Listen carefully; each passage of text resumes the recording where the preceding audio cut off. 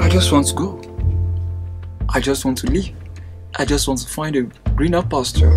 There's something more better. You understand?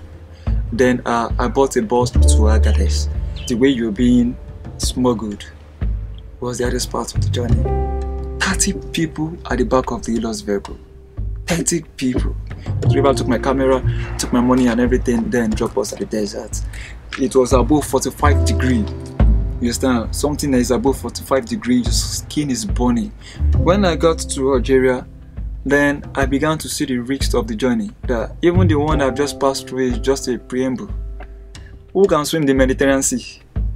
No one. Then I said, No, I can't. I have a lovely mom who does not know where, I'm, where am I. I just have to go back home and start a new life. Why internet radio? I got my inspiration during the journey when I was in Agadez, uh, during the IOM center, when I met up to 5,000 people. People were coming, we were going. People went to prisons. People who were their brothers, their loved one was killed at their sites. 80% of people did not know the risks of that journey.